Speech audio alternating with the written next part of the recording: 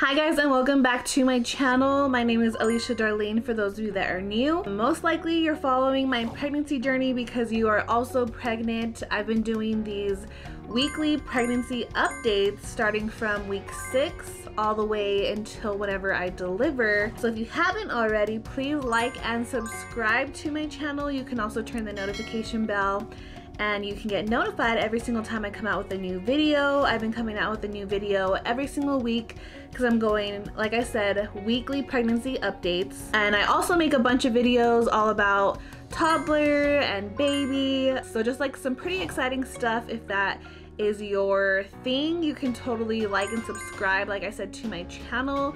I would greatly appreciate it. This week, we're gonna talk about week 32 in our pregnancy. So if that's you, we're gonna talk about how baby is changing and developing and how mama is also feeling. I know it's gonna get a little bit harder in this last trimester. I don't know about you, but for me, I'm definitely feeling it. Week 32 is your eighth month and your third trimester. So we're almost there. There's only eight more weeks to go or sooner. If you deliver before 40 weeks, then you'll deliver sooner than that. But we can kind of see the finish line almost there. So just some encouragement just to keep on going. We're so, so close. So let's get into this video. Like I said, we're just gonna talk about how baby is changing and developing and then how also just some symptoms that mama is feeling that's pretty normal. As you can tell, shortness of breath is one of them because I'm huffing and puffing because I cannot seem to catch my breath sometimes. You know, just your organs are just super squished in there just because, you know, you're growing a tiny human being and uh, it's completely normal. But just as you can tell in my videos, if I'm short of breath, that's why, because I'm super pregnant. And if you're watching this, you probably are too, and you can totally understand where I'm coming from. But yeah, so let's get into the video.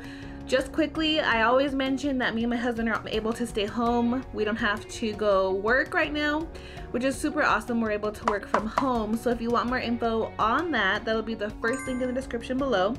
And you can, you know, just check that out, click that link, sign up for the emails, and you'll get some info on that if that's your thing.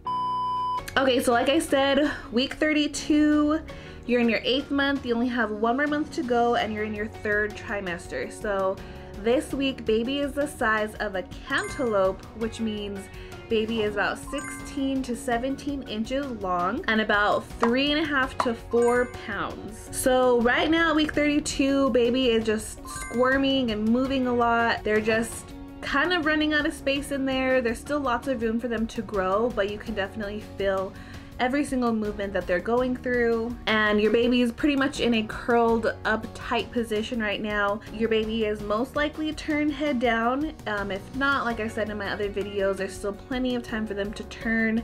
So hopefully they do start heading that way. Some babies don't even turn head down until right before delivery. So you have plenty of time and there's plenty of things to do like exercises and things like that that you can research if your baby is breech to help baby turn head down. So pretty exciting this week. All of baby's organs are fully formed. So if you had baby at this week, there's nothing you have to worry about. Their chance of survival is very, very good because like I said, all the organs in your baby are completely fully formed right now at this week. Okay, so let's talk about mama, some of the mama symptoms that you're going through.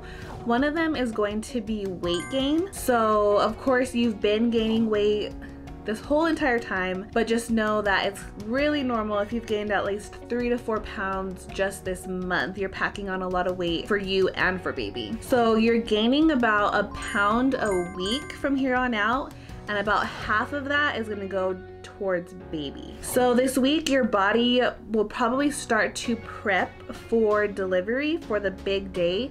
So you might start to feel some tightening and some hardening in your stomach area, your groin area, your back. Some of those stuff is gonna be more Braxton Hicks. So if you have like the tightening in your stomach and it gets really, really hard, like rock hard, and then it kind of goes away, uh, that's gonna be more of the Braxton Hicks contractions. I feel like I get those all the time where my stomach will just get really hard and then it'll go away. Okay, so to accommodate your baby's needs, your blood volume has actually increased from 40 to 50%. And your uterus is pushing up near your diaphragm and crowding your stomach. So that means you're gonna be dealing with shortness of breath, and heartburn. So what you can do is some simple stretches that really will help you alleviate that pain and that shortness of breath if that's something you're experiencing you can do um, like i said just some like yoga stretches. You can look up prenatal stretches.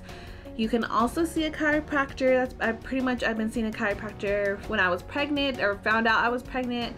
You know I told him right away. And so He's been working with me with just doing some simple stretches and some pelvic exercises too. So I highly recommend to see a chiropractor if you know of one. You can definitely start to see one if you're new to one too. Right now I live in New Mexico and I see this super awesome chiropractor. So if you want his info, I can definitely send it to you if you live in my area because I would not see anybody else and he makes a huge, huge difference. So I definitely recommend seeing a chiropractor, even if it's not something that you are used to or if it's something that you don't think you need, just to feel adjusted you know, for you and baby is going to be huge, not only to make your pregnancy more comfortable, but also to make your delivery a little bit more prepped so you're getting a little bit more ready for that. So another good topic to start researching is going to be early labor signs this week. If you're like me, I've been researching the labor, like early labor signs forever. I had my first daughter at week 37 and so I know that this baby can come pretty soon if he wants to come soon. So I've been researching early labor signs so that pretty much includes like cramping, menstrual-like cramps, water breaking of course, vaginal bleeding or discharge that pretty much looks different, diarrhea is another one, and then just that constant tightening in your uterus like we talked about. Um, I made a video just specifically on like the top nine signs of labor.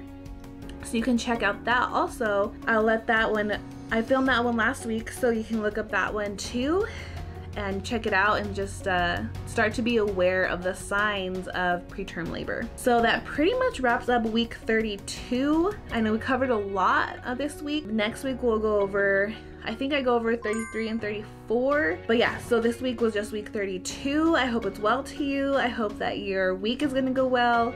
And like I said, you're in your eighth month, so you only have one more month to go. And I hope that you and baby are doing well. And I'll see you in the next video. Uh, don't forget to like and subscribe and we'll see you then.